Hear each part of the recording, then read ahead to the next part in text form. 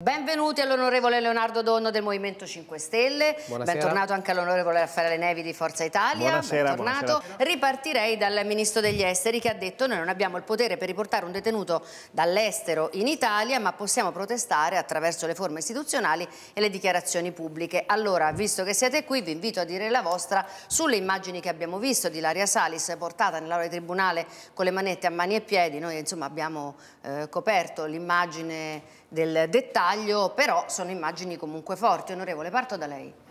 Sono immagini forti e abbiamo chiesto per questo un'informativa urgente proprio alla Presidente del Consiglio Meloni, perché eh, abbiamo Ilaria Salis, questa ragazza italiana che eh, starebbe subendo appunto delle violazioni dei diritti umani, eh, l'abbiamo vista in catene in Ungheria, in prigione, e i patrioti al governo intervengono ovviamente con colpevole ritardo, perché Abbiamo la Presidente del Consiglio Meloni che ad oggi non ha mh, detto una parola sul caso. Il Ministro Lollobrigida che dice di non aver visto le immagini probabilmente Ci era risulta, impegnato... come dicevamo che c'è stata una telefonata stasera con il sì, sì, sì, sì, sì, sì, però ovviamente il ritardo è sotto gli occhi di tutti, da 11 mesi è detenuta questa ragazza, la telefonata arriva solo oggi. Il ministro Lollobrigida, dicevo, probabilmente è impegnato a fermare qualche treno Avete... che non ha visto le immagini e la cosa più grave però credo che sia... Mm la posizione, anzi le dichiarazioni del ministro Tajani che ha detto che fino a ieri di questa vicenda non ne sapeva praticamente nulla. Allora, il ministro Lollobrigida qui non c'è, quindi non possiamo gli, farlo replicare, però per gli ambasciatori Tajani non, non hanno informato il ministro Tajani, questo sarebbe gravissimo ovviamente. Che notizie Ma... abbiamo?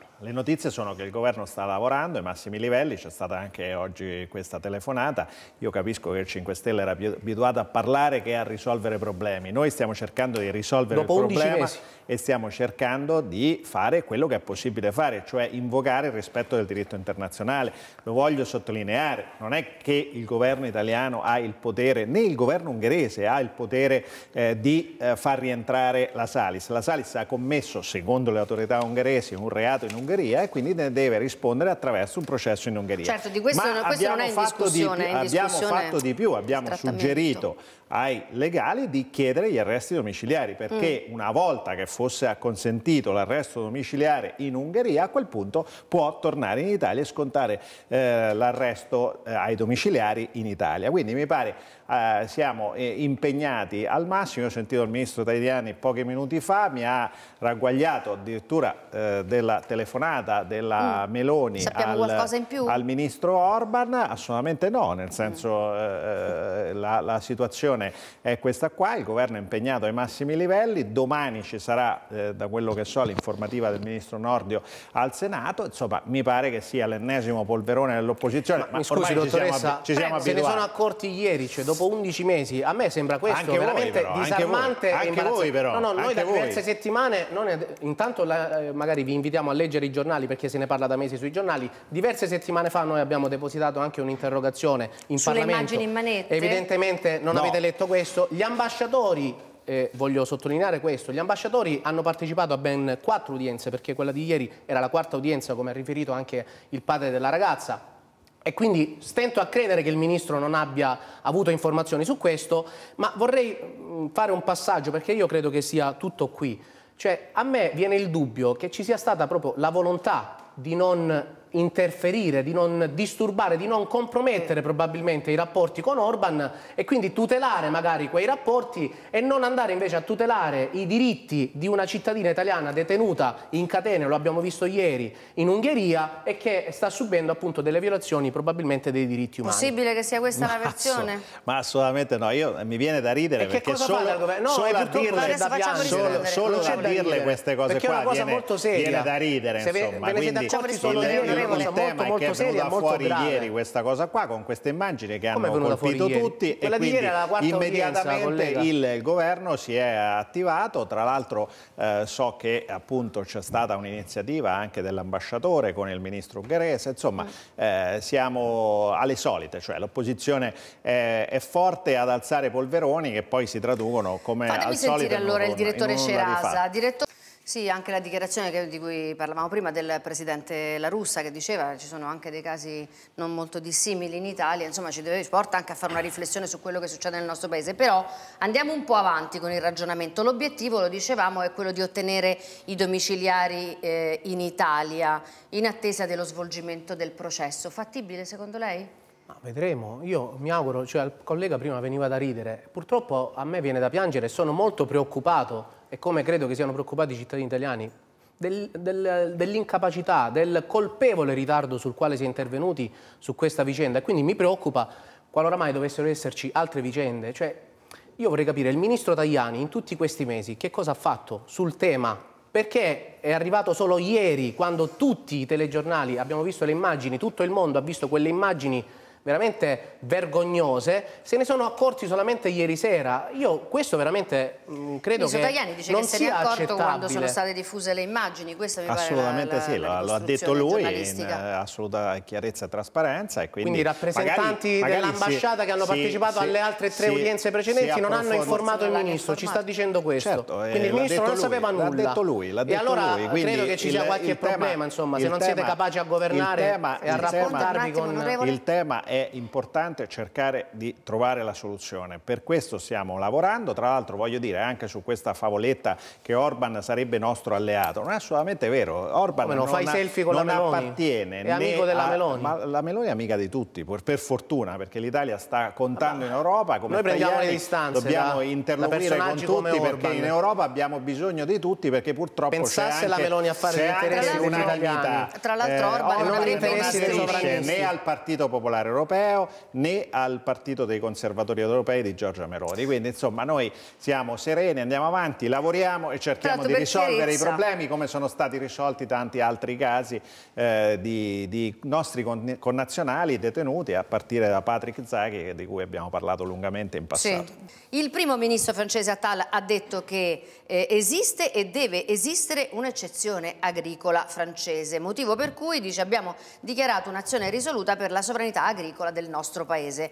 Allora, agricoltura e sovranità, eh, la presidenza di turno dell'Unione Europea che è ancora nel Belgio eh, sta valutando per giovedì di convocare una riunione straordinaria dei ministri europei dell'agricoltura per dare una risposta a queste mobilitazioni. Come va a finire questa storia?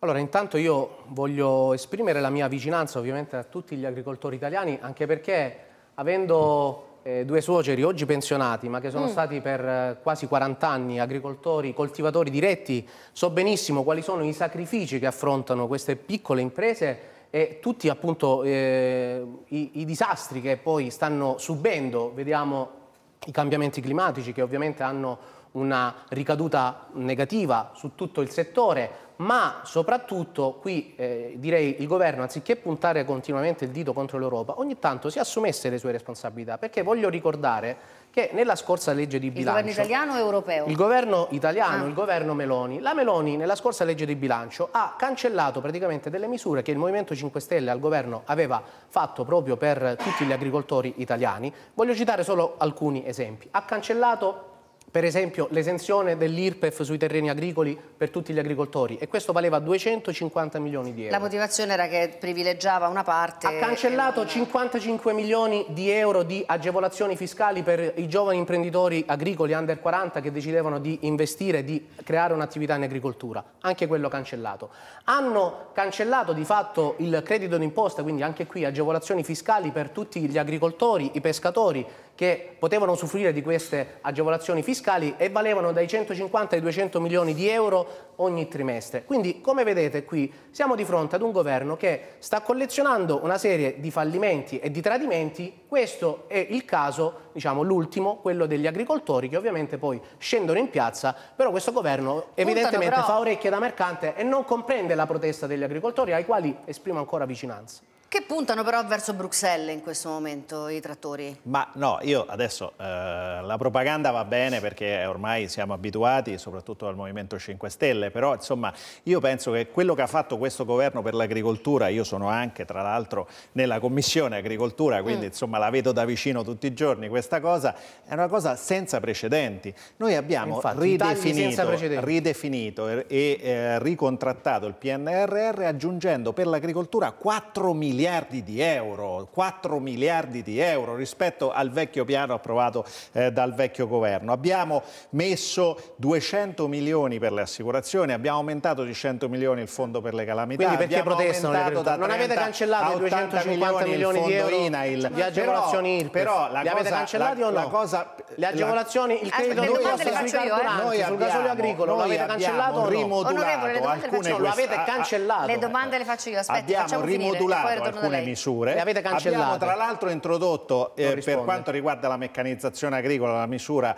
dell'industria 4.0 e 5.0 che farà recuperare il taglio dell'IRPEF che oggettivamente eh, c'è stato. Abbiamo fatto la riforma dell'IRPEF, abbiamo eh, mantenuto l'assoggettabilità al reddito catastale per quanto riguarda gli agricoltori, cosa molto importante, soprattutto però la morale ci viene da un partito che ogni legge di bilancio, ogni legge di bilancio tentava di eliminare il gasolio agricolo. Siete voi, siete gli stessi e il gasolio agricolo le avete cancellate voi le agevolazioni. alla base della protesta degli agricoltori. E le avete cancellate voi nella scorsa legge di bilancio. i socialisti europei stanno teorizzando collega, la, l'eliminazione dei sussidi, voi dei sussidi e del gasolio agricolo. Allora. Il Movimento 5 Stelle sì, ma l'avete cancellato il credito d'imposta. Ha, ha proposto nella nostra finanziaria 900 milioni di euro di taglio per il gasolio agricolo. E lo avete tagliato Oggi ci fanno la morale. È veramente e così avete tagliato le agevolazioni ah, sull'IRPEF. Scusi Però, un attimo.